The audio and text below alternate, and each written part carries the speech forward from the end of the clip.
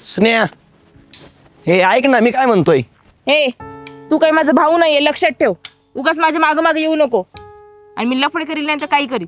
तुला काय करायचं रे? तुला समजून सांगायला भाऊच लागतो का? हा? तुझा भाऊ तुझ्या शिक्षणाला पैसे देतो. तुला लफडे करायला काही वाटत नाही का? तुला लफडेच करायचे ना लग्न कर ना. मी लफडे करील नाही तर लग्न करीन. तू मला सांगणार कोण? तू आपलं आपलं बघ. उगा दुसऱ्याची पंचायत नको करू. तुझ्या भावाची आणि तुझी मला किव येते. म्हणून तुला बोलतोय. तो कष्ट करून तुझ्या शिक्षणाला पैसे देतो.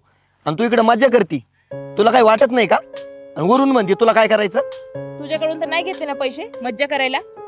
मला शिक्षणात आवडच नाहीये. मला मज्जाच करायची आहे म्हणून मी करते कॉलेज झालं आता समाधान? उगा माझं डोकं खाऊ नको. तुझ्यासारख्या मुलीने जर असं केलं तर कसं होईल? सुधरा जरा. तुला सांगून आहे ना काही फायदा नाहीये. तू सांगण्याच्या पुढे गेली जाऊ दे. ज्याचा हात मोडन ना त्याच्या गळ्यात पडन. हा समजतंय ना तुला? मोडू दे माझा हात आणि पडू दे माझ्या गळ्यात. जा आता. जातो.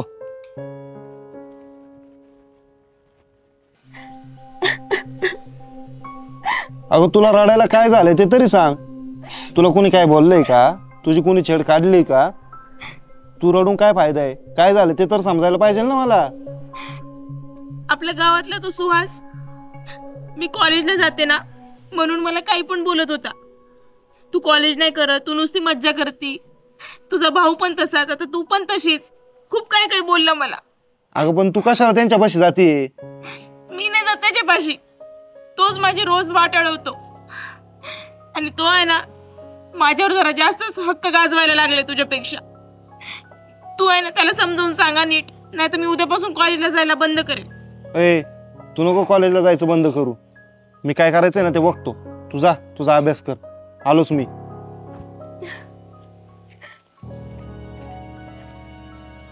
आत्ता कशी मज्जा येईल बघ. लयच माझ्या नादी लागत होता ना. लय हुशार की मारत होता.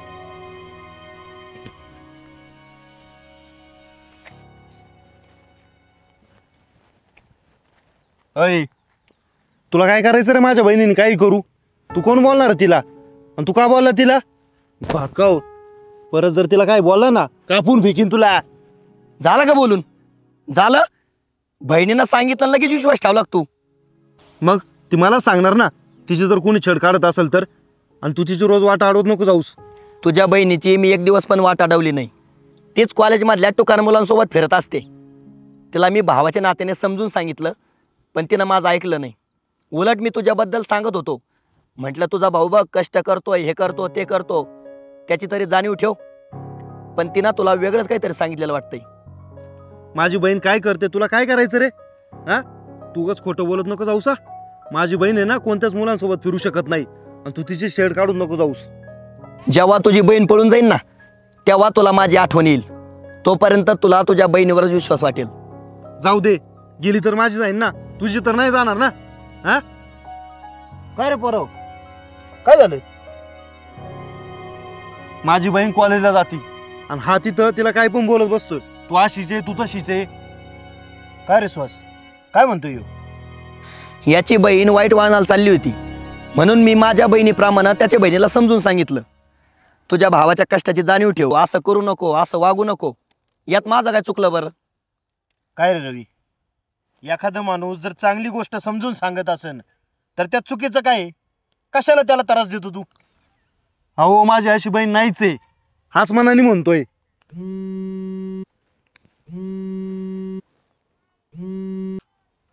हॅलो? काय?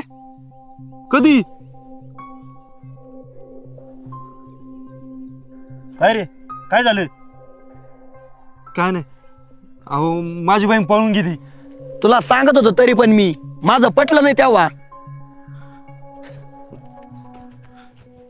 बघितलं ना काय झालं? जाऊ दे चल. चला. सुहासला माझ्याच भावाची पोरगी बायको म्हणून आणायची. नाही तर त्याचं लग्न मी दुसरीकडे होऊच देणार नाही. ए तुझ्या भावाला म्हणाव तुझी पोरगी द्यायची तिकडं दे. इकडं अजिबात द्यायची नाही. माझ्या जोडीदाराची पोरगी सुहासला बायको करणार मी. अरे तसा शब्द दिलेला आहे मी त्याला. किती झालं ना तरी माझ्या मित्राची पोरगीच सुहासची बायको आणणार. हा. सक्क दिलं सोडून आणि परक्याकडे पळायचं. मी पण माझ्या भावाला शब्द दिलाय की तुझीच पोरगी करून आणेल म्हणून. आणि काही झालं तरी सुहासला माझ्याच भावाची पोरगी करायची. मला लग्नच नाही करायचं. उगाच भांडू नका. होय बाबा तू काय दुसरीच बघून ठेवली काय कुठं? तसलं काय करू नको. मी माझ्या मित्राला शब्द दिला एकतर ऐक माझं माझ्या मित्राचीच पोरगी बायको कर. अरे देखणी बायको भेटन तुला. हा. हे बघ सुहास असं काय करू नको. अरे तुझ्या मामाला मी शब्द दिलाय की सुहासला तुझीच पोरगी करून आणेल म्हणून. तुम्हाला दोघाला ना येड लागलेलं आहे. रोज माझ्या लग्नावरून भांडण करता. कुठं माझं जमून नाही ठेवत पण भांडण रोज करता. अरे बाबा तुझ्या आईला काही कळतंय का? हा? कुशाल मामाची पोरगी कर म्हणती. अरे त्यांचं खानदान कसं आहे माहितीये का तुला? तुझ्या आईवरनच कळतंय ना कसलं खानदान आहे. कशाला अजून एक महिना आपल्या घरात आणून ठेवायची? तुम्हाला काय करायचंय? माझं खानदान कसं पण असू दे. तुम्ही नका मला सांगू. जसं काय तुमचं खानदान सोन्याचं धूरच काढतंय. ते काही असू दे. किती झालं तरी माझ्या मित्राची पोरगीच सुहासला बायको करायची. हा. माझ्या लग्नामुळे तुम्ही भांडू नका. मला लग्नच नाही करायचं. बघितलं का? बघितलं का? तुझ्यामुळे ना आमच्या दोघात भांडणं व्हायला लागल्यात आता. अरे किती झालं ना तरी तुझ्या भावाची पोरगी नाहीच करायची त्याला बायको. अहो माझ्यामुळे नाही. तुमच्यामुळेच होतं ते भांडणं. अरे माझ्यामुळे कशाची? तुलाच वाच वाच बोलायची सवय लागली का हो, राहू द्या? राहू द्या. समजलं ना? अरे काय राहू द्या राहू द्या. थोडं तरी कळलं पाहिजे तुला. अरे किती दिवस झालं मी आधी सांगितलं होतं ना माझ्या मित्राची बायको शांत करायची. बसा. तुम्ही दोघं भांडत बसा मीच जातो. अरे, हे बघ हे बघ तुझ्यामुळेच गेला तू. माझ्याच भावाची पोरगी आणायची. नाही करायची मी इतके दिवस- शब्द दिले माझ्या भावाला. जा तुझ्या भावाचं काय? आवडी उठायचं खांडी सुटायचं माझ्या मित्राची पोरगी करायची.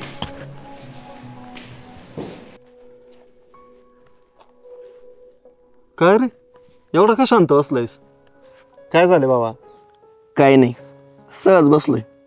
सांग ना मला तुझ्या मनात काही कळत नाही का? काय सांगू आता?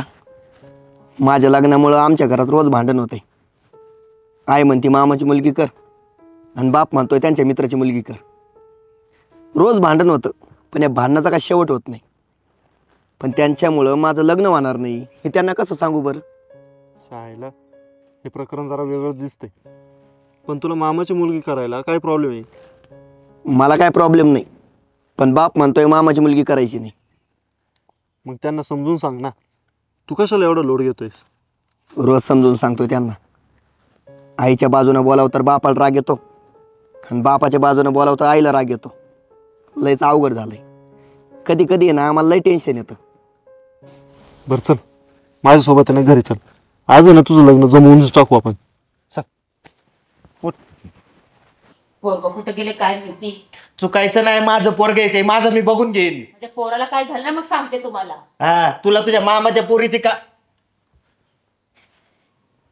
हो काका. सुहासचं लग्न मी जमवलं तर जमल का तुम्हाला? ए, अरे तुला काय याड फिट लागले काय? त्याला आधीच पोरगी बघून ठेवली आम्ही. मी तर सगळ्यांच्या आधी बघितलीये. अरे तुझ्या आधी मी पाहिली तुला सांग. रवी हे असं यांचं. झालं सुरू भांडण. अहो काका तुम्ही दोघं असं भांडताय ना त्याच्यामुळे त्याचं लग्न जमत नाहीये. अहो तुम्ही ज्या मुलीसोबत त्याचं लग्न लावून द्यायला बघताय ना त्या मुली जातील लग्न करून हा राहील बिन लग्नाचा. अहो त्याचं वय होत चाललंय तुमच्या भांडणापायी त्याचं लग्न होतच नाहीये. हा? तो टेन्शन घ्यायला आलं हे कधी समजायचं तुम्हाला? आईला खरं की राव आमच्या भांडणाच्या नादात याचं लग्नाचं बाजूलाच राहिलं. माझ्या लक्षातच आलं नाही. ते काय नाही उद्याच याचं लग्न जमवून टाकतो मी. माझ्या मित्राच्या पोरीसोबत. ओ माझ्या भावाच्या पोरीसोबत म्हणा नाहीतर मी ह्याचं लग्नच होऊन देत नसते.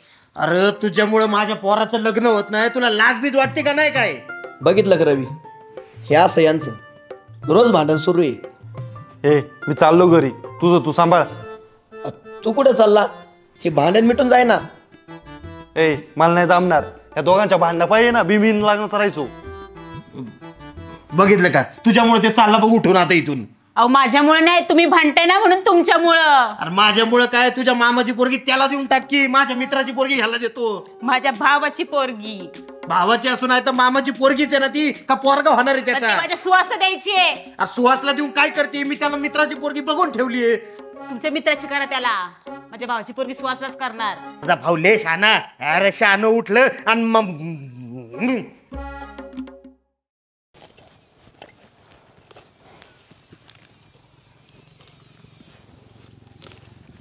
खरंच आपल्या आईसारखी दुसरी आई जगात नाही.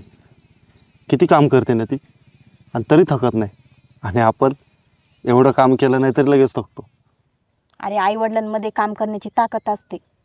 ती मुलांमध्ये कधीच येत नसते दादा. बरोबर आहे. मी काही करून आहे ना नोकरीला लागणार आहे. कारण मला आईचे दिवस बदलायचे आहेत. तिने आपल्याला शिकवण्यासाठी खूप कष्ट केलेत. ताई तू का नाही पुढे शिकली? काहीतरी झालं असतं ना? आई म्हणायची तुला खूप शिकवायचं. म्हणून तिने माझं शिक्षण बंद केलं. पण बरं झालं ना तू शिकला. आता तुला नोकरी लागली म्हणजे झालं. कारण आईचं स्वप्न आहे. तुला नोकरी लागावी म्हणून. आई माझ्याशी किती खोटं बोलली ना? मला बोलली तुला पुढं शिक्षणात डोकं नाही चालत. म्हणून तुला पुढं शिकवायला नको. पण ताई मला जर खरंच असं माहिती असतं ना माझ्यामुळे तुझं शिक्षण बंद होते तर मी तुला पुढं शिकून दिलं असतं. आई खरंच खोटं वागली. तुला एक सांगते. पण तू लगेच आईला जाऊन भांडशील. आईने तुझ्यापासून एक खूप मोठी गोष्ट लपवली. ती पण लहानपणापासून. म्हणजे तेव्हापासून ती मला सांगते की दादाला काही सांगू नको म्हणून. म्हणून मी पण तुला काहीच नाही बोलले. काय? कोणती गोष्ट अशी? सांग ना. आपली जी आई आहे ना ती तुझी खरी आई नाही आहे तुझी खरी आई दुसरी. आहे काय? मग माझी खरी आई कुठे? आहे? म्हणजे आई माझ्याशी खोटं वागली ना? आलोच मी. कुठे चालला? माझ्या खऱ्या आईला शोधायला.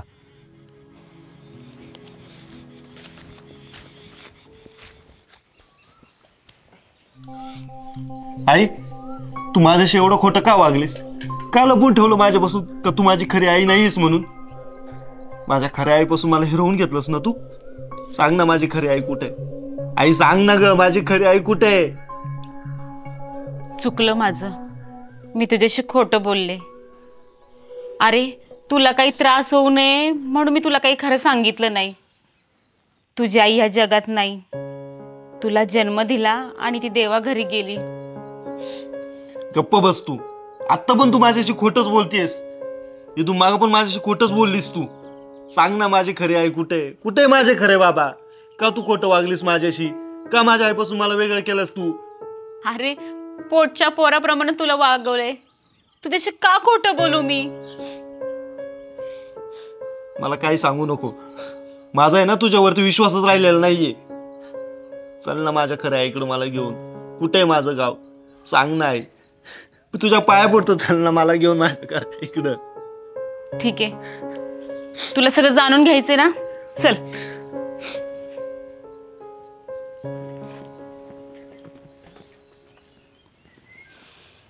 हे तुझ्या आईचं घर. म्हणजे माझ्या सख्ख्या भावाचं घर. हा तुझा बाप. म्हणजे माझा सक्का भाऊ. तुझा जन्म झाला आणि तीन महिन्यांनी छोट्या गोष्टीवरनं भांडण केलं आणि तुझ्या आईला मारून टाकलं. सगळं बर्बाद झालं. आता त्याला येड लागलाय. दारू पिऊन कुठं पण पडत असतो. म्हणून म्हणून मी तुला माझ्याकडे घेऊन गेले. हे सगळं तुझ्या वाट्याला यायला नको म्हणून. तुला आई नाही ना म्हणून मी तुझी आई झाले. बाबा. हो बाबा उठा ना. हो तुमचा पोरगा आला उठा ना. वाढणार तू? अरे मला बायकोच नव्हती. तर मी कसं मारेन तिला? तुला दारू प्यायची का? तुला प्यायची आहे का? येड लागले रे त्याला. तू किती रडला काही बोलला ना तरी त्याचा काही उपयोग होणार नाही. मला एकच भाऊ होता. तो पण आता संपला.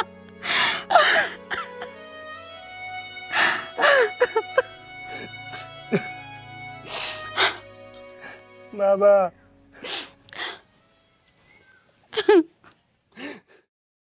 तुमच्यासारख्या पोरीचं ना दम नसतो. म्हणून प्रेम सक्सेस होत नाही. दम नाही तर प्रेम कशाला करायचं? दम तुझ्यापेक्षा जास्तच आहे. पण बापाच्या इज्जतीचा विचार करते म्हणून काही निर्णय घेण्याचे टाळते.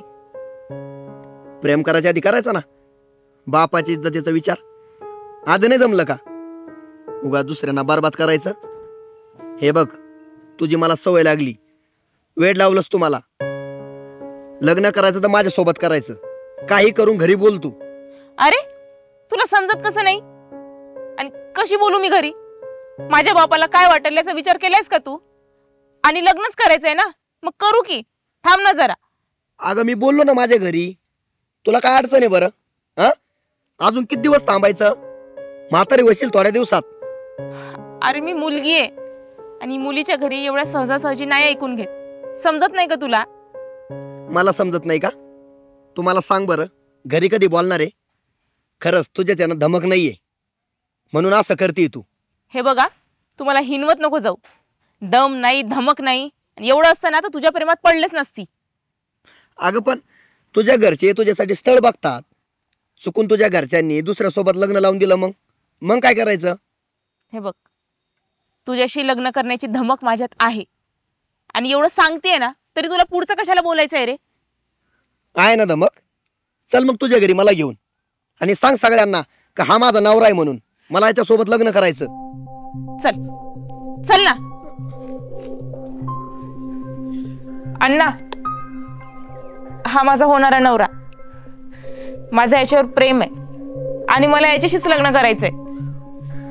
ह्याला नोकरी नाही पण शेती उत्तम करतो. त्याला बाबा नाही आहेत पण आई आहे. आणि हा मला सुखात ठेवेल ह्याची मला पूर्णपणे खात्री आहे. माझं याच्याशी लग्न लावून द्या.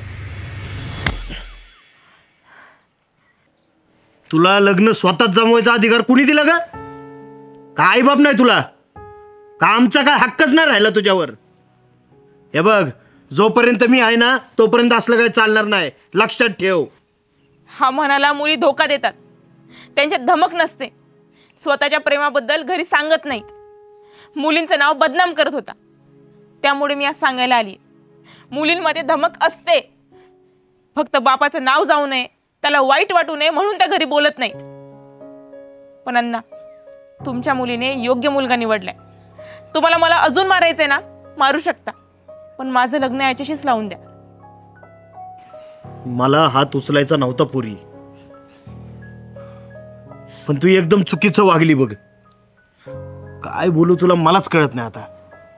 अहो गावात बदनामी होण्यापेक्षा स्वतः आहे ते सगळं घरी सांगितलेलं काय वाईट आहे? आणि मी जर पळून गेले असते तर तुम्हाला चांगलं वाटलं असतं का? तुम्हीच सांगा. आता तुम्ही ठरवा काय करायचं आणि काय नाही ते. तुझं घर कुठे? आहे चला. चल.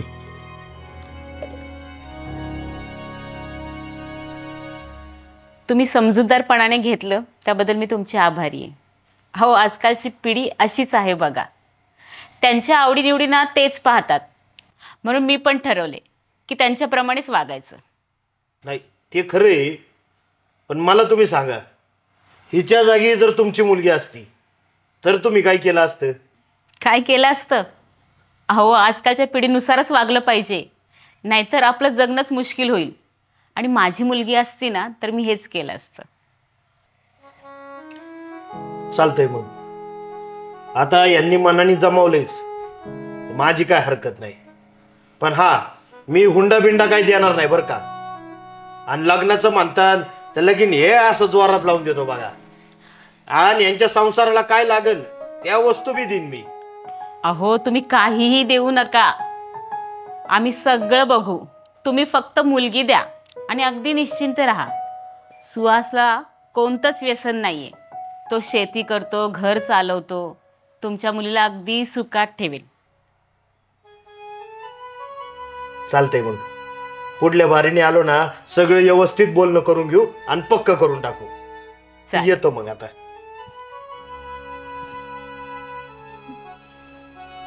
खरंच मुलीमध्ये धमक असते राव. तिनं जर दाखवले ना कोणतीच गोष्ट अशक्य नसती. हम्म. आता जावा रानात. झालं ना मनासारखं? जातो. हम्म. आपलं लग्न झाल्यानंतर मी तुझ्या आईबाबांसोबत नाही राहू शकत. आपण जर वेगळे राहणार असेल तरच मी तुझ्याशी लग्न करेन. नाहीतर नाही करणार. अगं आई वडिलांना सोडून कसं राहता येईल आपल्याला? तू माझ्यासोबत प्रेम करताना असा विचार केला होता का? तू जर मला आधी सांगितलं असतं ना प्रेम करायच्या आधी मी तुला हात जोडले असते. म्हणजे तुला माझ्या प्रेमाची काही कदरच नाही. काही घेणं देणंच नाही माझं तुला.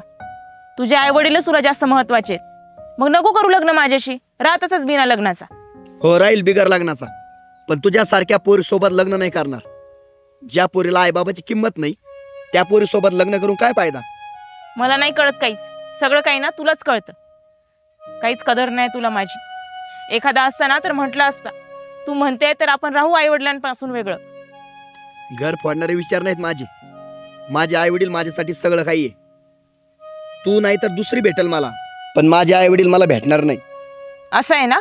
मग जा तुझ्या आई वडिलांसोबतच राहा. आणि आजपासून तुझं आणि माझं नातं संपलं असं समज. मी नाही भेटणार तुला कधीच. जाग नको भेटू. तुझ्या वाचून माझं काय नाही राहणार. तुला आई वडिलांची किंमत नाही. काय उपयोग आहे तुझा? निघ लगेच. मी तर म्हणतो तुझ्यासारख्या पुरी जन्मालाच येऊ नये.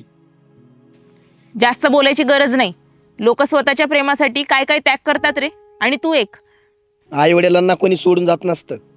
आणि जे जातात ना त्यांना आई वडील म्हणजे काय हेच समजलेलं नसणार. आणि त्यातलीच तू एक आहे. हो आहे मी त्यातलीच एक. जाऊ दे जाते मीच. तुझ्या प्रेमात कशाला पडले मी असं वाटतंय मला. प्रेम आहे म्हणून आई वडिलाला सोडून वेगळं राहायचं. तरच लग्न करणार. पळे म्हणा तिकडे. जेल. अरे बाबा आजकाल लग्नासाठी पोरी भेटत नाही. आणि ती पोरगी म्हणती ना येगळं राहायचंय.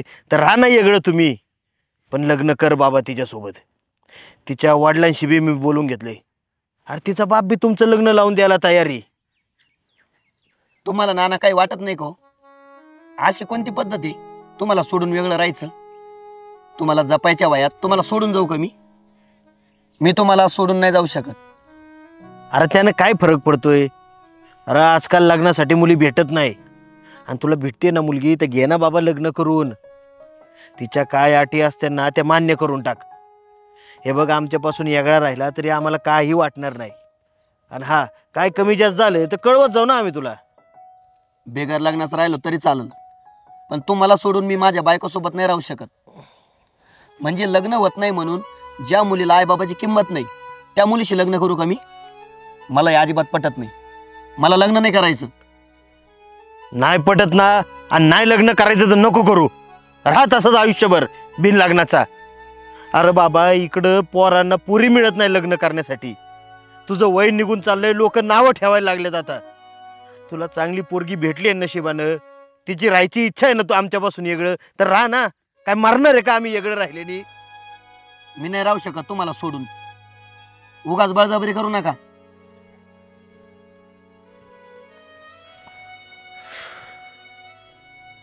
खरं तर जन्म दिलेल्या पोराला आई बापापासून वेगळं कसं राहू वाटेल? पण परिस्थिती पुढे इलाज नसतोय बाळा.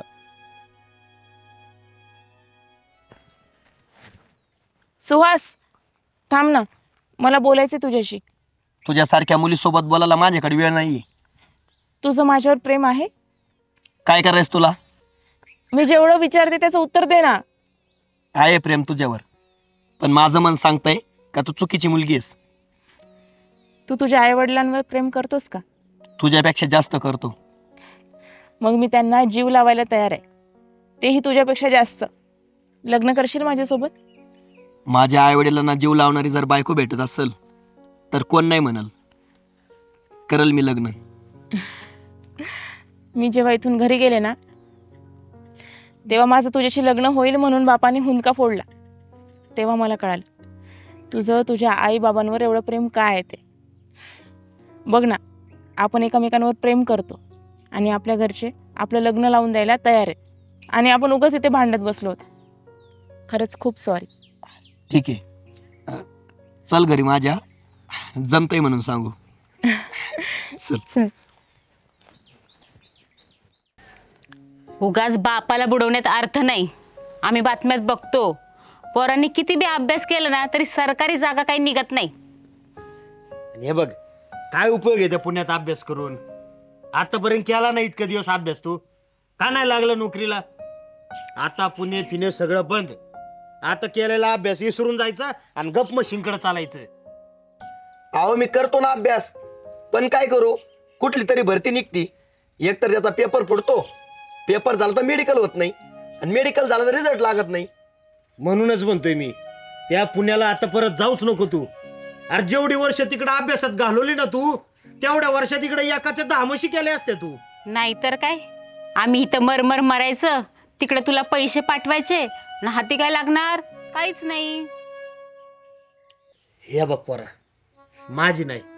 गावातल्या सगळ्याच लोकांची मानसिकता अशी झाली बघ. आपली पोरं पुण्याला मरमर अभ्यास करतात पण त्यांना काही न्याय भेटत नाही. त्यापेक्षा आपली पोरच तिकडं पाठवाय नको ना शिकायला. आणि कसं आहे तुम्हाला आम्ही तिकडं शिकायला पाठवतो. खर्च होतो. त्यामुळे आमचं बजेट बी कॉल मारते पण आम्ही तुम्हाला हे सांगत बी नाही. तुमचं खरं आहे म्हणा लग्नाचं वय झालं तरी बापाला हात भरणं लावता खर्च करायला लावतो.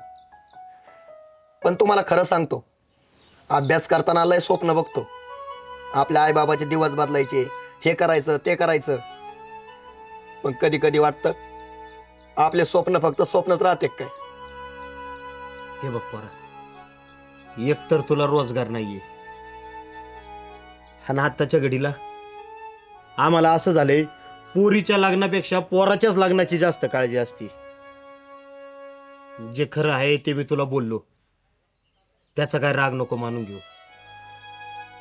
आणि शेवटी आम्हाला आई बापाला बी पोराचाच आधार असतोय रे. पण एक दिवस नक्की लागल नोकरी. असं वाटत राहतं. त्यामुळं एवढी वर्ष खर्च करतो. वर्ष नाही. सगळं तरुण पण खर्च करतो त्या अभ्यासात.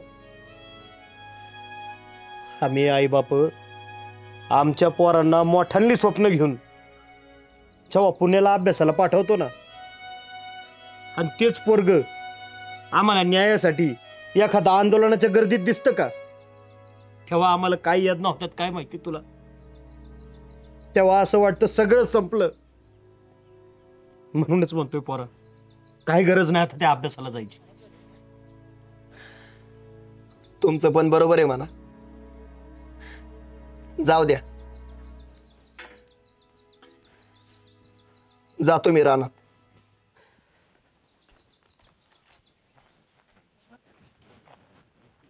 ए हुशार माणसा. आज अभ्यास सोडवून डायरेक्ट शेतीमध्ये? हा? काय भानगड म्हणायची? आता अभ्यास करणं सोडलंय मी. आता गावाकडे आलोय आणि गावाकडेच राहणार. तू पण गेली होती ना पुण्याला अभ्यासाला? कधी जाणार तिकडं? बाबा बोलले आता खूप झाला अभ्यास. अभ्यास भरपूर केला पण काहीच झालं नाही. आता त्यांना पण माझा खर्च परवडत नाही. म्हणाले जर तुला नोकरी लागली असती तर हुंड्याचा खर्च वाचला असता. पण आता नोकरी पण नाही आणि काहीच नाही. बरोबर आहे त्यांचं. खरं तर हेच कारण माझं पण आहे. अगं लग्नाचं वय झालंय. अजून आपल्याला नोकरी नाही. आपला बाप एवढं स्वप्न पाहून आपल्याला पुण्याला अभ्यासाला पाठवतो. आणि साधी आपल्याला नोकरी नाही अजून. बघणार आहे. आपल्याला नोकरी लागावी याच्यासाठी आपल्या आई वडिलांना किती त्रास सहन करावा लागतो? बरोबर आहे. एवढं वय झालंय तरी आपण काही मदत नाही करू शकत. त्यामुळं ठरवलंय मी. अभ्यासाला नाही जायचं आता. इथं शेतीत काम करायचं आणि त्यांना हातभार लावायचा. अरे पण तू थोडे दिवस थांबायचं ना. तुझा एवढा चांगला अभ्यास झालाय. थोडे दिवस अजून थांबला असतास कुठली पण भरती निघाली असती ना तरी तू पोस्ट काढली असती. मला तेच वाटतंय. एवढे दिवस केलं अजून थोडं थांबायला पाहिजे. पण माझे वडील नाही ऐकणार. आणि नोकरी नाही लागली मग. एकतर माझ्या लग्नाचा विषय चालू आहे. आणि नंतर मुलगी कोण देणार? माझं वय पण निघून गेलेलं असणार आणि शेतीत पण प्रगती नसणार. म्हणजे मी सगळीकडून होकायचो. अरे पण नोकरीला लागणारा एवढा चांगला हुशार व्यक्ती असं छोटं मोठं काम करतोय बघताना कसं तरी वाटतं रे. तू बेरोजगार नाही राहणार. तू चल माझ्यासोबत. कुठं? तू चल तर. चल.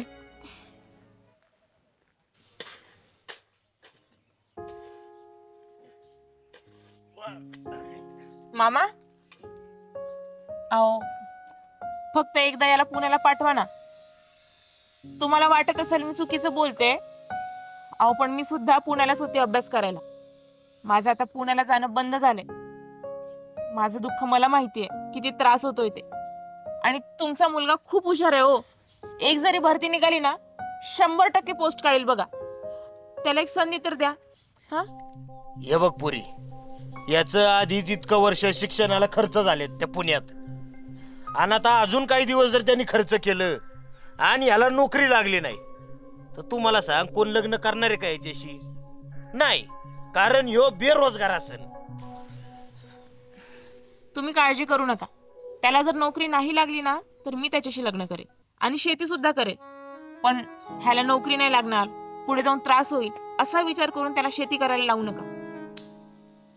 अगं पुरी लग्नाचं झालं पण पैशाचं पैसे कुठून आणणार आता? अहो मी देते ना पैसे. मी मदत करते.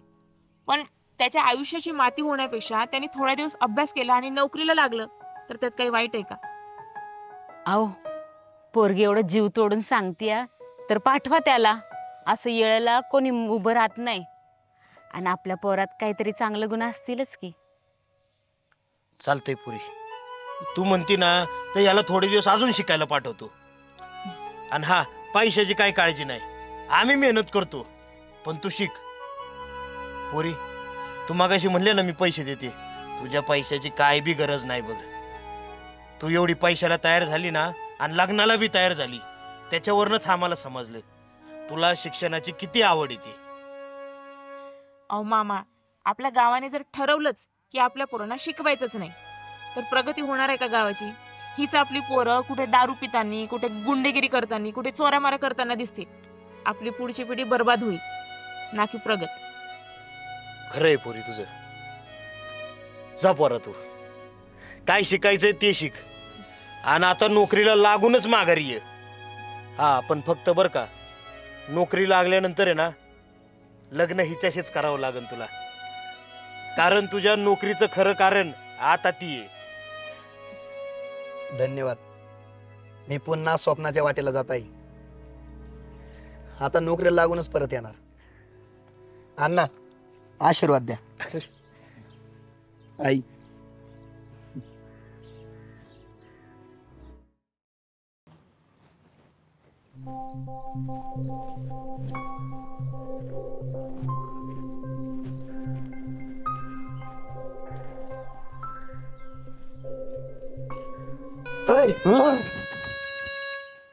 तुम्ही भाई घाबरलो ना.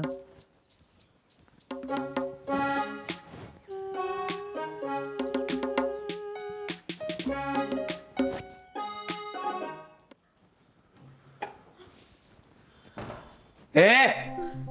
ओरडण्याचा प्रयत्न करू नको. त्याचा काही उपयोग होणार नाही हा? आणि तुझ्याकडे जे काय आहे ना ते देऊन टाक. नाहीतर तुला मारून टाकील. माझ्याकडे काहीच नाही हो.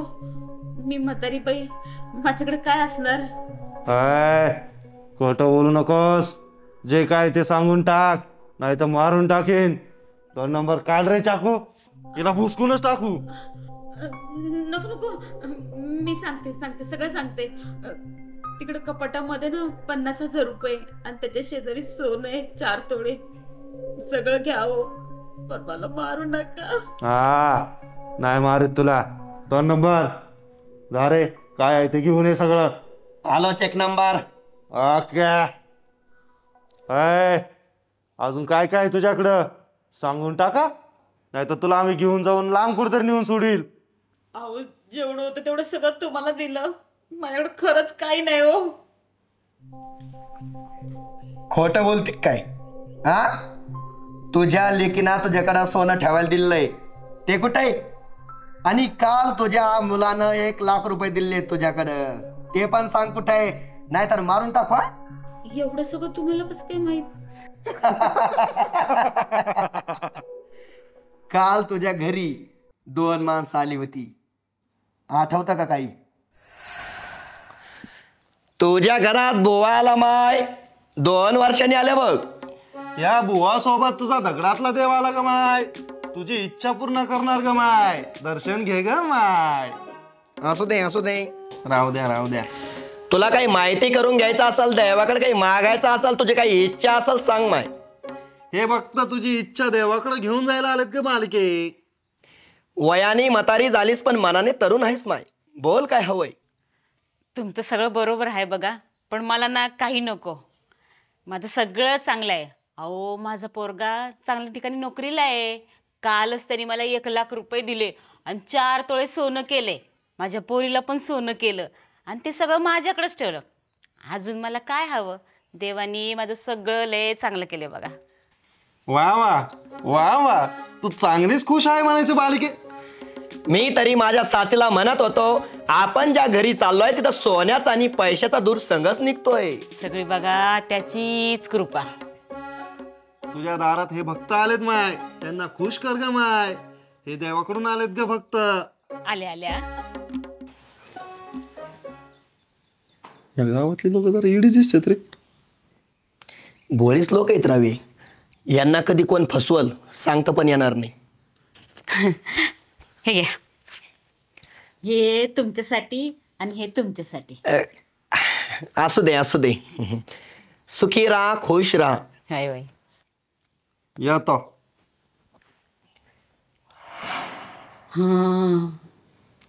आम्ही ना तीस लोक आहोत.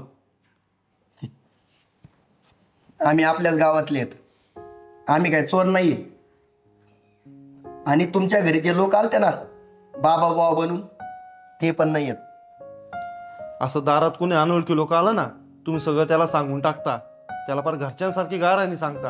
आणि तीस लोक आहे ना तुमचा गैरफायदा घेतात. तुम्ही आपलं भोळ्यापणात सगळं सांगता. पण याचा गैरफायदा घेऊन हे लोक चोरी करतात.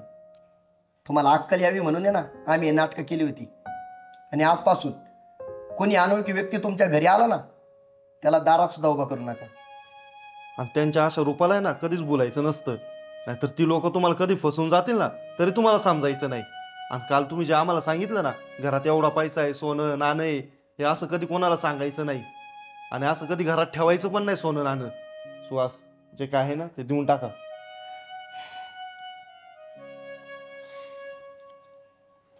सुधरा आता. येतो. हा.